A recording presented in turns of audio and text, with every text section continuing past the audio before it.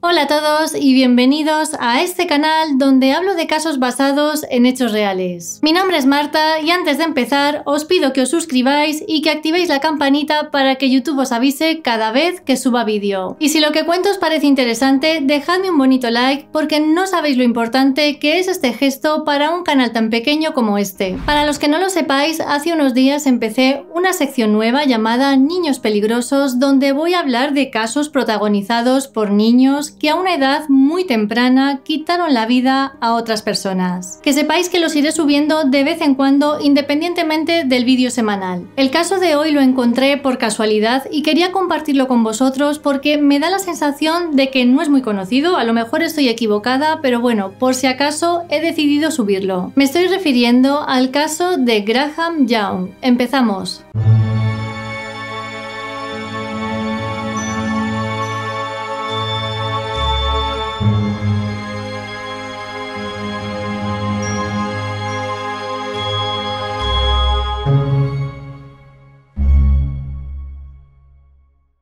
Graham Frederick Young nació el 7 de septiembre de 1947 en Nisden, un distrito de la ciudad de Londres. A una edad muy temprana empezó a mostrar cierta fascinación por la química y los venenos, interesándose en los efectos que tenían estos elementos sobre el cuerpo humano. Estaba tan obsesionado con todo lo relacionado con la Alemania nazi que incluso llegó a considerar a Hitler como una especie de héroe. En 1961, cuando tenía 14 años, comenzó a introducir sustancias en la comida de su familia, produciendo serios problemas de salud en los afectados. Además, de adolescente compraba muchos elementos, entre los que se encontraban el antimonio y la digitalis, mintiendo sobre su edad o simplemente alegando a los vendedores que los necesitaba para experimentos escolares. Debido a una mezcla letal de antimonio y talio, en 1962 su madrastra perdió la vida. Pero aún así, Graham siguió envenenando sistemáticamente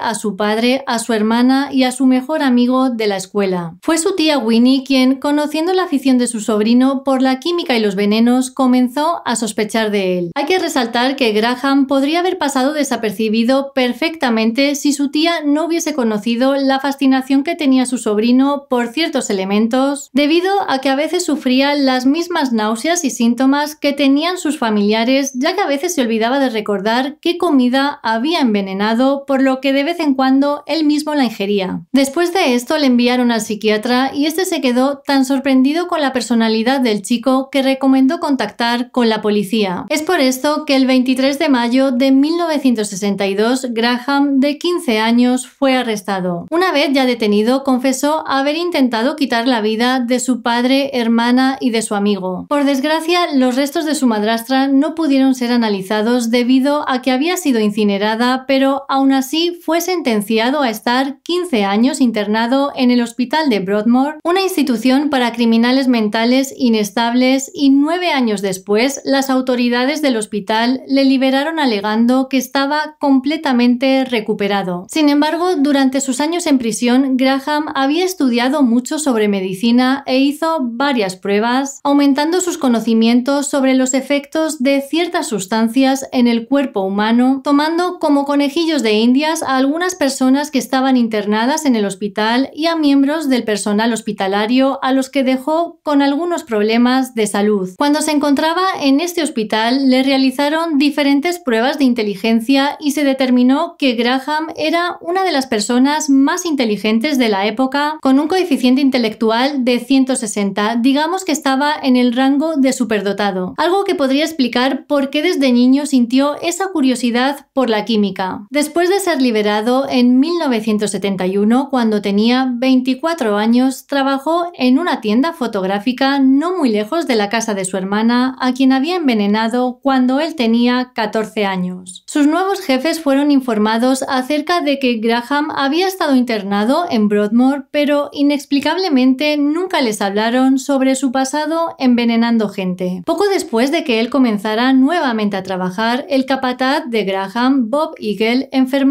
repentinamente y falleció. Graham había hecho té para sus compañeros poniendo en esta bebida elementos como antimonio y talio. Debido a esta bebida que había preparado, muchos de sus colegas cayeron enfermos por lo que llegaron a pensar que habían sido víctimas de un virus extraño. Posteriormente, todos estos casos de náuseas y malestar, algunos de los cuales requirieron hospitalización, fueron atribuidos a Graham y a su té. Durante los meses siguientes, Graham envenenó a cerca de 70 personas, aunque ninguna de ellas perdió la vida. Hay que mencionar que el capataz de Graham, el que murió a causa del té, tuvo un sucesor que empezó a trabajar allí, pero a los pocos días empezó a sentirse mal y renunció al empleo. Probablemente esa decisión salvó su vida porque unos meses después otro compañero de trabajo de Graham llamado Fred Biggs cayó enfermo y fue ingresado en el Hospital Nacional de Londres para enfermedades nerviosas, pero fue demasiado tarde para salvar su vida. Este hombre resistió varias semanas, pero finalmente falleció convirtiéndose en la última víctima de Graham. Después del último suceso era obvio que todas estas enfermedades más dos muertes requerían de una investigación médica y policial en el lugar de trabajo. Además, inexplicablemente Graham le había contado a un compañero de trabajo que su hobby era estudiar sustancias químicas. Este hombre fue a la policía quien inmediatamente revisó el historial de Graham destapando su pasado criminal que había estado encubierto hasta el momento. Por eso, el 21 de noviembre de 1971 fue arrestado. La policía encontró talio y antimonio en su bolsillo y también en su apartamento. También hallaron un diario de Graham en el que llevaba un minucioso detalle las dosis que suministraba, sus efectos y a qué personas estaba decidido a quitar la vida y a quién